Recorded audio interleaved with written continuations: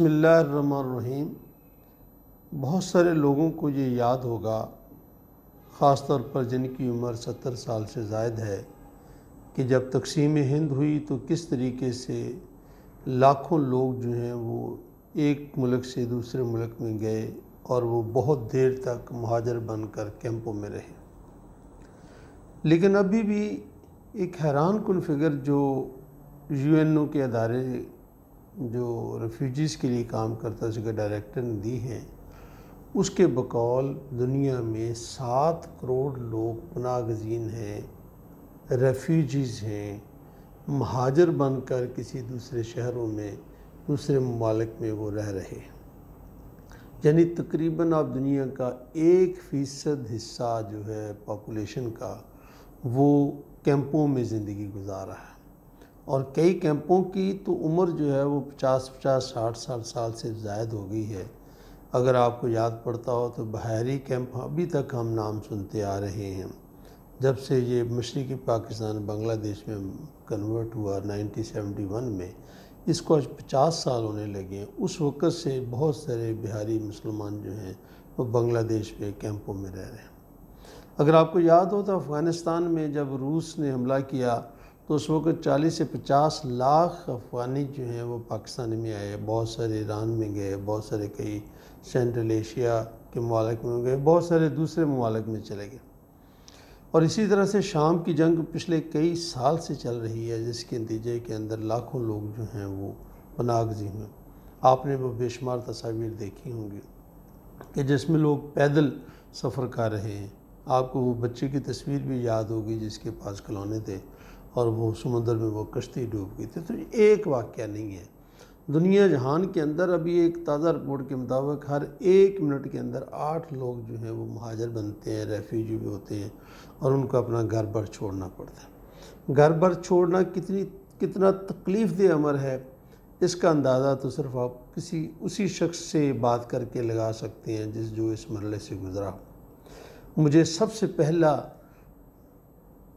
1979 के बाद 1989 के बाद, जब अफ़गान महाजरीन जा रहे थे और उसके दरमियान का जो अरसा था, जब अफ़गानिस्तान पे रूस का हमल हुआ तो मुझे पेशावर में मुख्तलफ़ कैंपों में जाने का मौका मिला। तो फिर मुझे महसूस हुआ कि ये कैंपों की ज़िंदगी क्या ज़िंदगी है। घर छोटा हो या बड़ा हो, अपना होता है। अपना इलाका होता है, लेकिन एक इलाके से उठकर आकर आप टेंट में रह रहे हैं तो क्या क्या मसाइल आपको पेश आते हैं?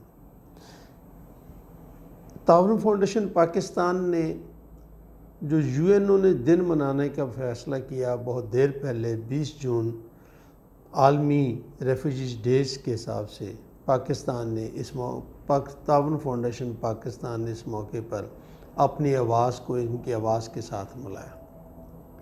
और ये मैसेज दुनिया में दिए, देने, दिए जाने की हमने कोशिश कर रहे हैं कि ये महाजरों की ज़िंदगी बहुत सारे माशी और माशरती मसाइल को जन्म देती है। इसलिए पूरी उम्मत, पूरी दुनिया का ये एक फ़र्ज़ बनता है, यूएनओ का फ़र्ज़ बनता है बड़े बड़े ममालिक का फ़र्ज़ बनता है कि दुनिया में ऐसा माहौल पैदा किया जाए कि जिससे लोग अपना घर बार छोड़ने पर मजबूर ना हों।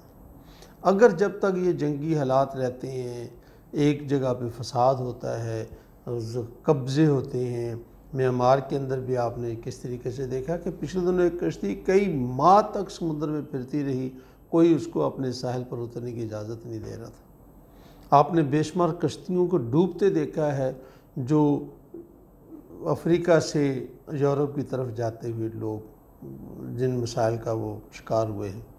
इन सब मसाइल को उजागर करने का मकसद सिर्फ़ ये है कि दुनिया इस बात के, इस बात पे मुतफिक हो कि वो लोगों के घरों को अमन का गहवारा रहने दें और वहाँ पे ऐसी सूरत हाल ना बना दें कि लोग अपने घरों को छोड़ कर चले जाएँ।